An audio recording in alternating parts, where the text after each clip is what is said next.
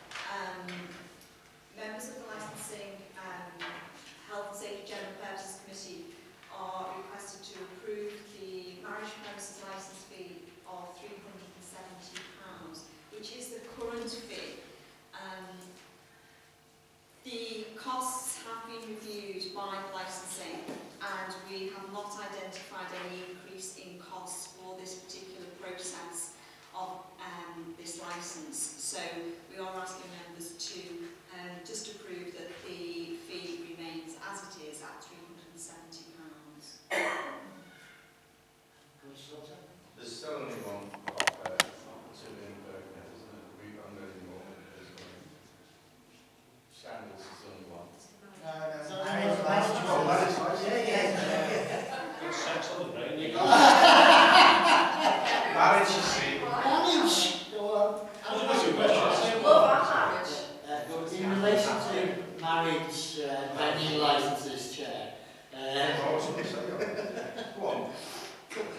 just ask um, the, the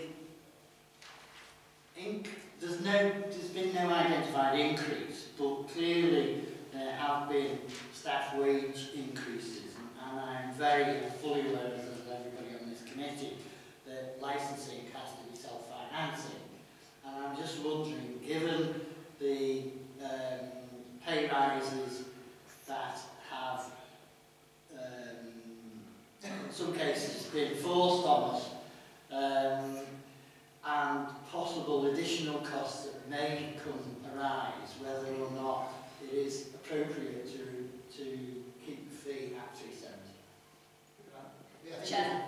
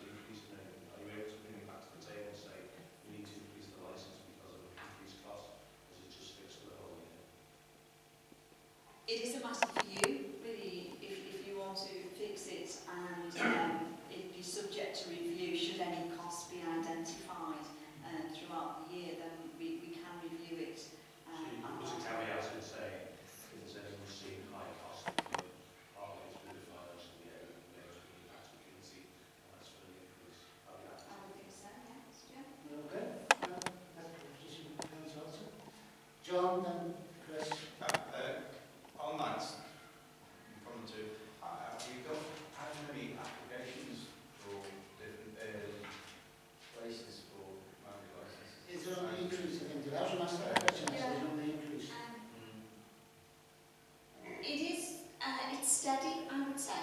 Um, and the, there is a matter actually whereby we have a current application, um, and I was going to speak to the chair regarding this particular application.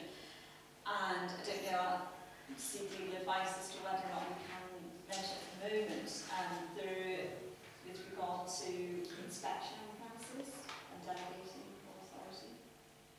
Yeah,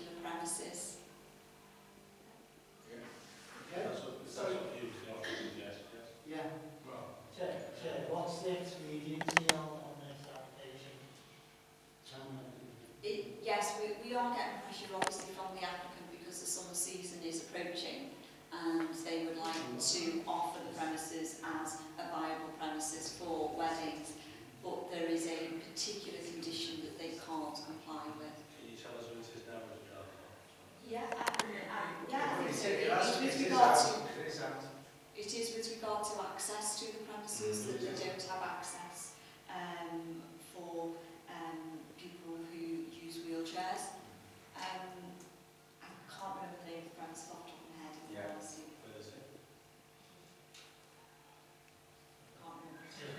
Can we, can we make a provision that we read that as soon as we can? Yes. Something that doesn't. Well, the alternative Grazie.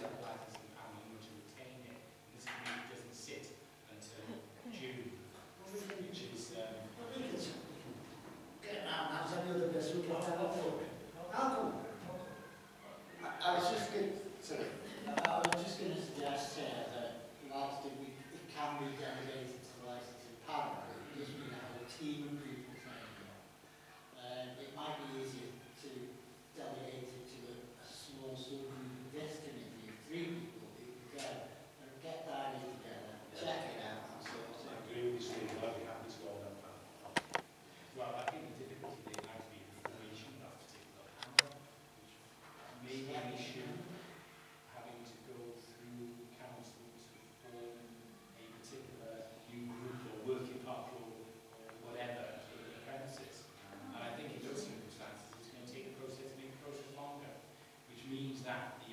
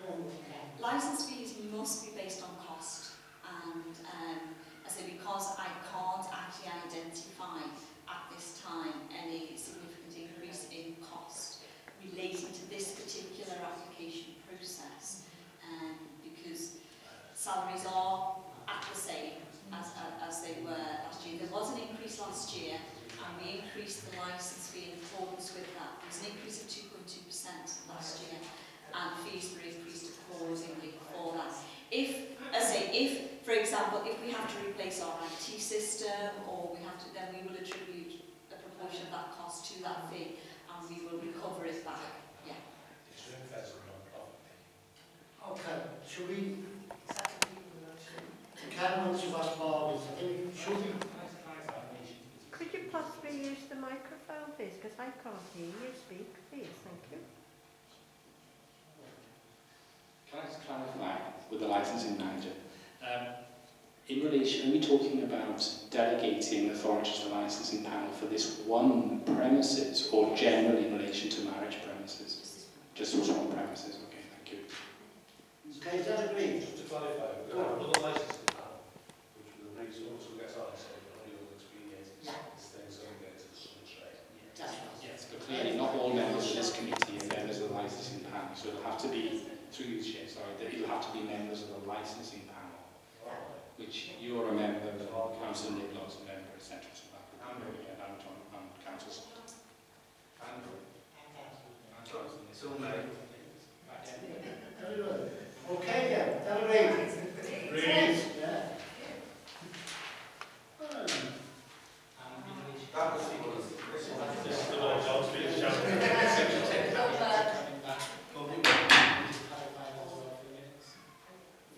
The fees, for the, for, just to clarify, with the, Agreed. Agreed. with the caveat of coming back, If there's any unforeseen increase in the costs of running the licensing department that's involved in that license. Agreed. right, okay, thank you. Um, Right, you're right, some job before.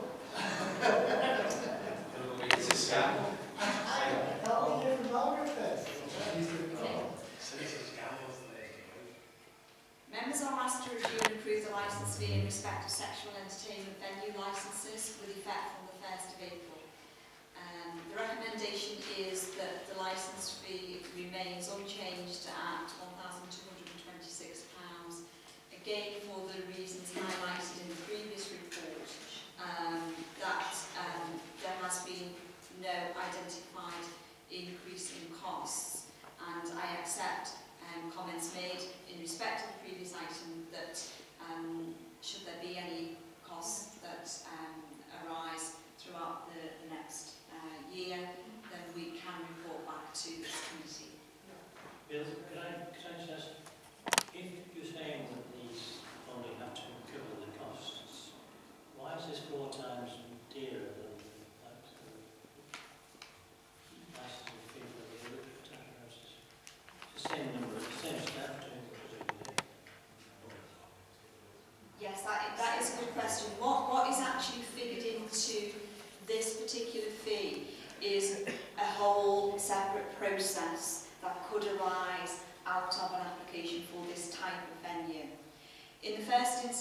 um, we have to have a licensing policy for sexual entertainment venues. So that incurs cost in actually developing that policy, publishing that policy and going out to consultation on that policy. Another cost is that if there are any objections, each time one of these applications or licenses are renewed, then there is the possibility for objections to be made unlike the other, um, whereby it, they tend to roll on in terms of their, their licenses. So what we've factored into the cost there is the cost of actually having to um, obviously consult on, on that particular application and report to members because it would be referred to a hearing if there were objections in relation to a, a, an application. And what we don't know is um, and in terms of whether or whilst we only have one premises at the moment, we could get an application at any time. So we have to factor those costs into, into that particular process. Right, one place. We mentioned the drawing the policy, well, that's a one-off thing, surely, isn't it? Um, it's That's been not It's, it's been costed, I I have done the, the full costing exercise And um, what I did with that was I divided the cost over five years. So what we, what we do there is we would then have, you know, uh, and in fact it would be due for a uh, review this year uh, coming. Um, and I have actually divided that cost over a period of five years. Yeah.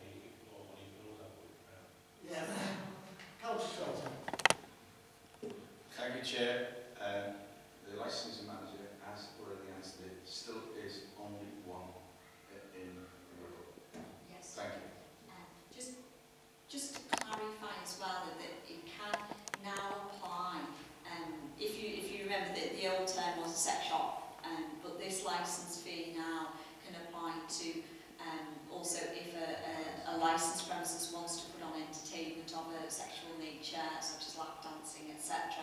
So we, it, that's why, as I say, it is a different process to um, the marriage premises. You still have our object? No, that's the doctor. Sorry, sorry, Chair, just to clarify as well, this also includes adult film establishments that we should have. Okay. What's that, what's that? All movies. They do supply me one back. Oh, Will you behave yourselves? sorry, go. Chair. Right, I'm on with so agreed. Agreed. Agreed.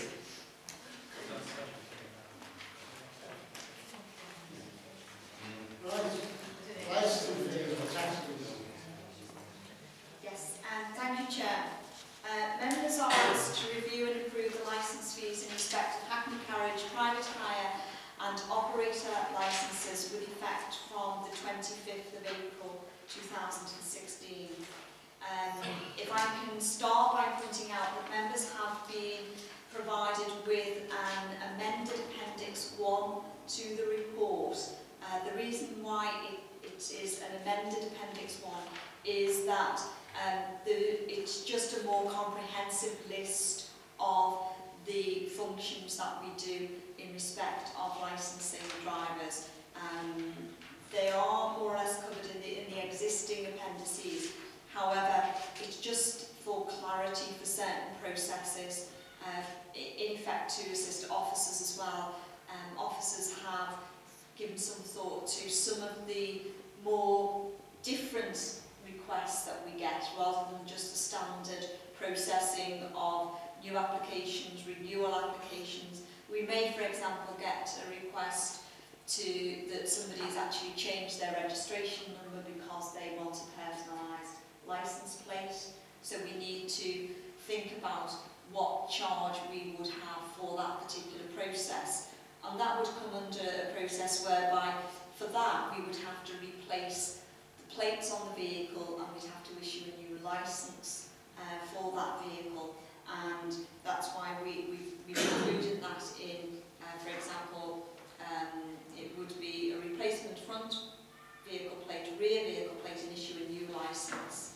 Um, and then what we've also done, because we, we have had, and members will be aware that um, one driver has queried the cost when asked um, he, um, an individual actually lo lost their plate and queried the cost of a replacement plate and we had to explain that the costs involved were not just about replacing that plate but a whole new licence had to be issued and both front and rear plates had to be uh, provided and the reason for that is the fact that it's lost means that someone else could have that plate and use it. So we can't have two numbers circulating in the authority. Whereas if someone has a damaged plate, then they can give us back the damaged plate and we can replace it with, uh, and that's why you will see for a replacement plate, that would be £10 fee Yeah. as opposed to uh, £30 as it is at the moment um, for that whole process of issuing another plate and issuing a licence. There's a lot more involved in officer time, etc. for that. You will note from the report that um, with regard to these particular fees, again, I have reviewed our accounts with an officer from finance and it has been identified that with regard to the income and the expenditure in relation to these licences, um, there is a deficit in the income against expenditure to the sum of £9,123. In working with the Officer from Finance, um, we've identified that if fees were increased at 4%, then this would be an amount that would seek to recover that sum over the next 12 months. sorry, Chair, just, to clarify as well, um, in terms of these particular fees, there is a legal requirement for us to advertise a proposed increase in um, the main part of those fees, not all the individual ones, but specifics in relation to operators and driver licences. And therefore, if members were to approve in principle the increases in the amended appendices, then um, we would undergo the required legal advertisement for a period of 28 days. And if there are no objections, then we'd ask members to approve the implementation of the amended fee structure from the 1st of April. Sorry, from the 21st of April this year when you say no objections, that's from tax returns. And then do you have to have a meeting to discuss what the objection is? Okay? Bill, can I just ask, Mike, um, I've had a chance, we've only just seen these figures, but it looks about approximately a three percent increase pro- altogether. So what's gone up then in the three, what's the three percent? Because presumably you're covering increased costs, sorry. So What's Yes. gone up? Yes, um, prior to October last year, um, this committee met to look at the fees because we were moving into an area which we hadn't had before, whereby we, from the 1st of October, we started to issue licences for a three-year period for drivers and for a five-year period for operators. So, having done that, um, those fees have been charged since the 1st of October and we've looked at the income that's been received and the projected income that is going to be received. And it's been identified that the way the fees are currently set, that would result in a deficit. So we can actually recover that deficit by increasing these fees in around, um, we obviously we rounded them up so you haven't got, you know, point thing, but we've looked at, in general, a 4% increase. Okay. It's just that um, in non-inflationary times, because we don't want in terribly inflationary times, these guys are all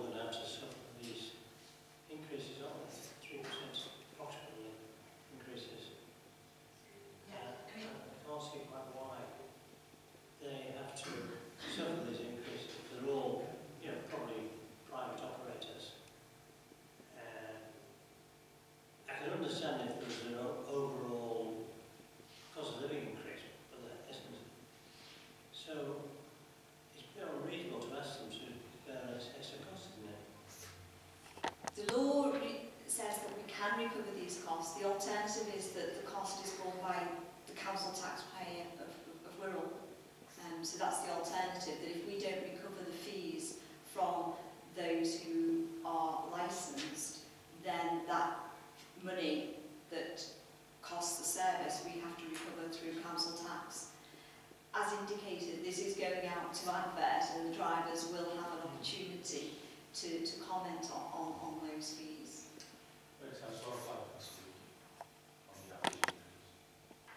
yes, I, I, I think it's important to know that those increases are not annual increases. So, so that, that fee, yeah. the fee um, is for a driver licence is for three years, it's not an annual fee.